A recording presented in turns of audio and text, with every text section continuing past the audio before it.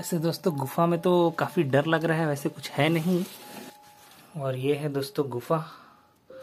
गुफा में बहुत थोड़ा सा ही पानी है जो ज़मीन के नीचे में है और कुछ चमकती हुई चीज़ें हैं। पता नहीं। नमस्कार दोस्तों।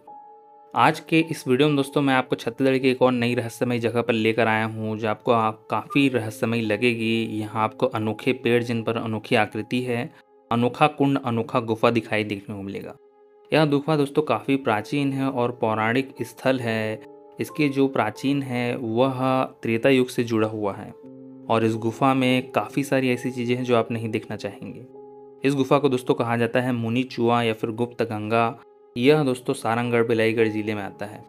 यहाँ मुनि चुआ मुनि सागर नाम से एक बहुत ही खूबसूरत और रहस्यमय प्राचीन स्थल है। इसकी प्राचीनतम को लेकर दोस्तों काफ़ी सवाल उठते हैं क्या सच में पौराणिक स्थल है या त्रेता युग से इसके तार जुड़े हुए हैं। एक और जगह मान्य है दोस्तों, इसका पानी काफ़ी पवित्र है और काफ़ी लाभदायक ऐसा कहा जाता है। साथ ही ऐसा माना जाता है कि इसी गुफा से होकर आप महानदी भी जा सकते हो और इसी गुफा से होकर आप उड़ीसा के नृसिंहनाथ मंदिर भी जा सकते हो जहाँ से अगर कुछ भी चढ़ाया जाए तो वह इस गुफा में निकलता है। तो इन सब बातों के बारे में दोस्तों आज के इस वीडियो में जानेंगे। यहाँ बोलते कि महानदी से ओकर स्रोत है ये महावर। अच्छा आते तो वहाँ जब को कभी कभू कभार वहाँ जो फूल उल और नदी उदी मन बह के आते ऐसे बताते हो।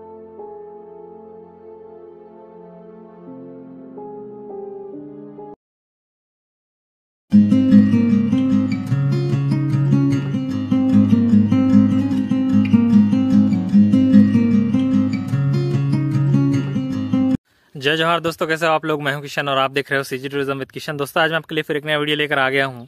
इस वीडियो में दोस्तों, मैं आपको छत्तीसगढ़ की एक और रहस्यमय, अनोखी, पौराणिक जगह पर लेकर आया हूँ, जिसके पीछे बहुत सारी कहानियाँ छिपी हुई है। काफ़ी सारा रहस्य जो है इस जगह से जुड़ा हुआ है, प्राचीन काल से भी, अभी से भी। तो वो सब आज इसके वीडियो में जानेंगे। आज दोस्तों, मैं आपको लेकर आया हूँ मुनि चुआ मुनि चुको दोस्तों बिलाईगढ़, सारंगढ़ ज़िले का एक पर्यटन स्थल है, बहुत ही फ़ेमस पर्यटन स्थल है। काफ़ी सारे लोग यहाँ आते हैं, जब बरसात का मौसम होता है, ठंडी का मौसम होता है, उस समय यहाँ का माहौल ही बड़ा अलग होता है। हाँ काफ़ी गर्मी है। लेकिन जो सुरंग है, वो अभी इसी समय जो है, वो खाली होती है, क्योंकि बाकी बरसात के समय में पूरी भरी रहती है तो उससे जुड़ा रहस्य जानने के लिए मुझे गर्मी के दिन में आना पड़ा। मैं आपको पूरा इस जगह के बारे में जानकारी दूँगा, इसके रहस्य के बारे में बताऊँगा, साथ ही यह भी जानेंगे कि इसके पीछे छिपा हुआ कहानी क्या है। चैनल पर नए चैनल को सब्सक्राइब नहीं किया है, चैनल को सब्सक्राइब कर लेना, साथ ही नोटिफिकेशन बेल दबाना मत भूलना। इस वीडियो को लाइक और शेयर ज़रूर करना, क्योंकि मैं ऐसे वीडियो आप लोग के लिए लेकर आते रहता हूँ। चलिए वीडियो को स्टार्ट करते तो दोस्तों आज के इस नए वीडियो में मैं आपको मोनू चुआ नाम की एक नई जगह पर लेकर जाने वाला हूँ जो कि सारंगढ़ बिलाईगढ़ ज़िले में स्थित है। दोस्तों इस जगह से जुड़ी हुई जो कहानी है वो काफ़ी दिलचस्प है और मुझे काफ़ी अच्छी लगी। इसलिए जगह मैं आप लोगों के लिए लेकर आया हूँ। यह दोस्तों सारंगढ़ बिलाईगढ़ ज़िले में स्थित है। इसकी दूरी सारंगढ़ से अंठावन बलौदाबाजार से चौरासी और महासमुंद से 107 किलोमीटर और बिलाईगढ़ से लगभग 10-12 किलोमीटर की दूरी पर स्थित है। तो दोस्तों ये जो आप रोड देख सकते हो ये जाता है बिलाईगढ़ की ओर और, और ये रास्ता मुझे नहीं पता कहाँ जाता है, मैं आपको बता दूँगा। ये जो है देख सकते हो, यहाँ पास लिखा है मुनि चुआ या फिर गुप्त गंगा पहुँच मार्ग दो किलोमीटर। वहाँ पास भी एक बोर्ड लगा हुआ है, सौजन्य राजमहल बिलाईगढ़। पौराणिक स्थान है दोस्तों, पौराणिक पर्यटन स्थल भी बोलते हैं, और ये गया है रास्ता। तो चलिए चलते हैं, वैसे तो इस मुनि चुआ में दोस्तों जो कहानी छिपी हुई है, वो काफ़ी दिलचस्प है, इसलिए मैं आपको उन कुछ भागों में बताऊँगा यह कहानी। तो सबसे पहले हम जान लेते हैं कि इस मुनि चुआ का नाम मुनि चुआ को पड़ा। तो दोस्तों, ऐसा माना जाता है कि यहाँ एक मूषक देता रहता था, जिसके कारण इस जगह का नाम मुनि चुआ पड़ा। कुछ लोग का मानना है कि कुछ तपस्वी रहा करते थे, जिन्होंने यहाँ तप किया था और गदा से प्रहार करके इस नेचुरल कुआँ या फिर प्राकृतिक कुआँ का निकाला है, जिसके कारण भी इसे मुनि चुआ कहा जाता है। लेकिन असल में दोस्तों, जो कहानी यहाँ प्रचलित है, जो हम जानते हैं, वह त्रेता युग से जुड़ी हुई है और उसका संबंध रावण और राम से है। वह कहानी दोस्तों आगे वीडियो में जानेंगे कैसे रावण यहाँ आया था और प्राचीन समय में इसे हटकेश्वर वन कहा जाता था। तो दोस्तों कहानी कुछ इस प्रकार है। माना जाता है कि त्रेतायुग के समय जब राम और रावण का संघर्ष चल रहा था, तब रावण इस जगह पर घूमने के लिए आया था।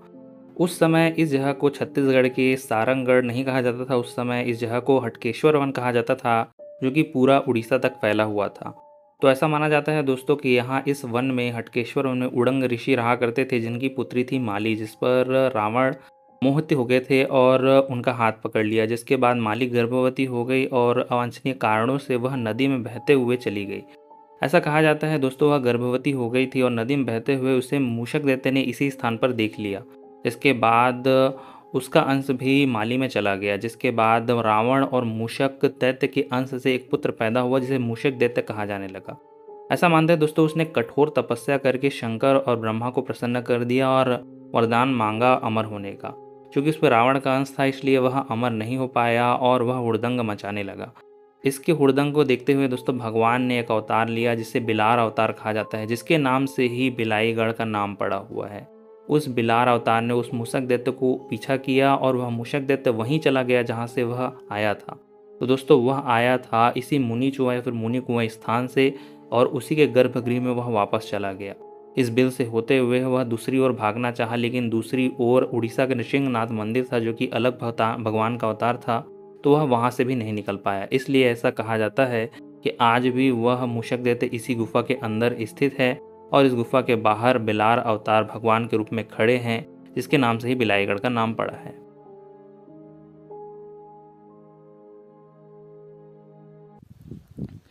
तो ये है रास्ता दोस्तों, और ये है कुंड।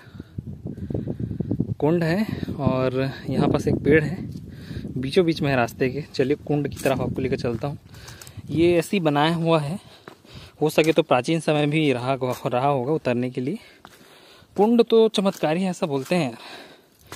पानी उसका काफ़ी चमत्कारी है, ऐसा बोलते हैं एक्चुअल में मालूम नहीं है मेरे को। अब वो तो जाके ही पता चलेगा। यहाँ तक देख सकते हो। यहाँ बस गंगा मैया के स्थान भी लिखा हुआ है। हो सकता है यहाँ कुछ हो। और ये है दोस्तों गुफा। गुफा में बहुत थोड़ा सा ही पानी है जो ज़मीन के नीचे में है और कुछ चमकती हुई चीज़ें हैं। पता नहीं क्या है भाई। कचरा यहाँ तक आ गया है, जो कि मेरे को बिल्कुल भी पसंद नहीं है, लेकिन ये क्या चमक रहा है, इसको देख के मेरे को डर लग रहा है थोड़ा थोड़ा पता नहीं ये क्या है। इस तरफ़ से मैं आया हूँ, देखो, ये है गुफा। मान्यता ऐसी भी है दोस्तों कि इस मुनि चुआ का पानी को काफ़ी अमृत माना जाता है और इस पानी से जो चर्म रोगी होते हैं, वह इसका इस्तेमाल भी करते हैं। साथ ही कई लोग इस पानी को लेकर अपने साथ लेकर घर भी लेकर जाते हैं और शिव जी को नहलाते भी हैं। साथ ही दोस्तों, ऐसा माना जाता है कि नृसिंहनाथ मंदिर में कुछ भी आप बहाएँ, फूल, पत्ती, नारियल तो वह यहाँ आ जाता है, बहते हुए ऐसा कहा जाता है। गर्मी के दिन में दोस्तों, जब इस गुफा, इस गुप्त गंगा या फिर मुनि चुआ, मुनि कुआँ में पानी नहीं होता है, तब गुफा के अंदर भी जाया जा सकता है। गुफा के अंदर मैंने जाके देखा, ज़्यादा दूर तो नहीं जा पाया, लेकिन नीचे में हल्का सा कीचड़ और पानी था और काफ़ी सारी चीज़ें चमक रही थी। लोगों का ऐसा मानना है कि इसका एक स्रोत महानदी भी है, जो यहाँ बहते हुए पानी के रूप में आता है। और यहाँ लोगों को दिखाई देता है। लोगों ने बताया यहाँ तीन चार सुरंग है जो कि 40 से 45 फीट लंबे थे और जब गर्मी ज़्यादा होती है, पानी पूरा सूख जाता है, तब उसमें जाना जो है वह संभव हो पाता है। पहाड़ी के एरिया में दोस्तों आपको ये छोटा सा काली मंदिर भी देखने को मिलेगा। यहाँ पास काफ़ी सारे त्रिशूल वगैरह लगा के रखे हैं और इस पत्थर पे एक अजीब सी आकृति भी आपको नज़र आ रही होगी। ये ये। मेरे को काफ़ी अजीब लग रहा है। तो ये भी यहाँ एक स्थान है। देवी शक्ति भी मानते हैं जगह को, इस कारण से भी यहाँ ये स्थान हो सकता है। काफ़ी पौराणिक जगह तो है ही, प्राचीन समय की। यहाँ दोस्तों, कार्तिक पूर्णिमा पर तीन दिवसीय मेला भी लगता है, जिसमें यहाँ काफ़ी सारे श्रद्धालु दर्शन करने के लिए आते हैं। अब दोस्तों, यहाँ से जुड़ी हुई कहानी जो भी हो, चाहे वह पौराणिक कहानी जो मैंने आपको बताई वह हो, या फिर लोगों द्वारा यहाँ जो माना जाता है कि मुनि ने तपस्या करके यहाँ गदा से प्रहार करके मुनि कुआँ निकाला, वो हो। चलिए हम लोग कुछ ग्रामीण से जानते हैं कि वह इस मुनि चुआ, मुनि कुआँ के बारे में क्या सोचते हैं। काफ़ी मतलब जाने माने पर्यटन स्थल है पौराणिक स्थल ऐसे कहा जाते तो ओकर से संबंधित तुमन कुछ अगर जाना हुआ तो बताओ। हाँ ऐसे कहना चाहिए। हमन से और पुराना बुज़ुर्ग है कर से भी पुराना बुज़ुर्ग। हाँ।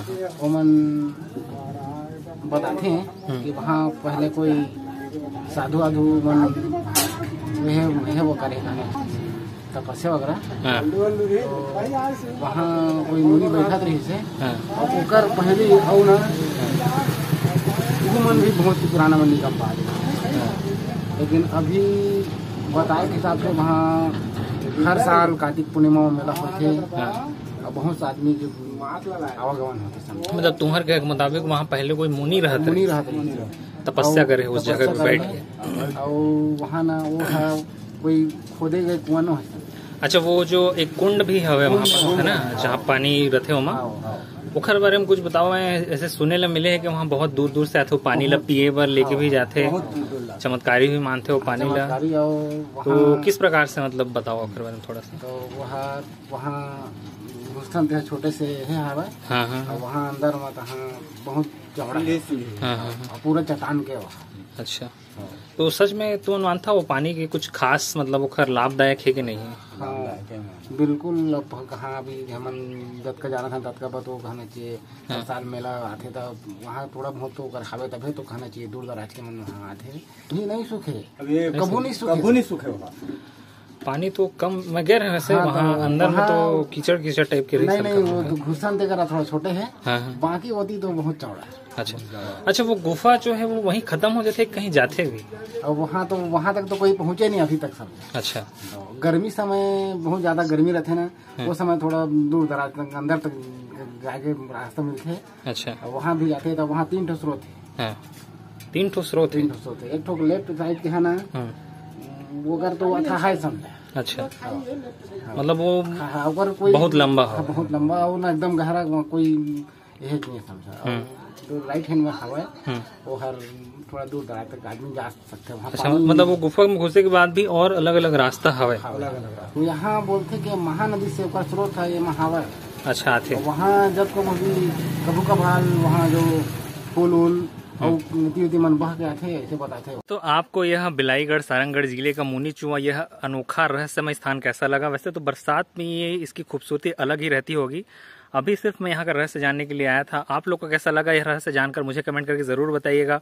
इंटरेस्टिंग ऐसी वीडियोस देखना चाहते हो तो चैनल को सब्सक्राइब कर दो वीडियो को लाइक कर दो और कमेंट करना मत भूलना। अगर आपके आसपास कोई ऐसी जगह है तो मुझे कमेंट करके ज़रूर बताइए। फ़िलहाल वीडियो में इतना ही। फिर मिलेंगे इसे नए वीडियो में। तब तक के लिए बाय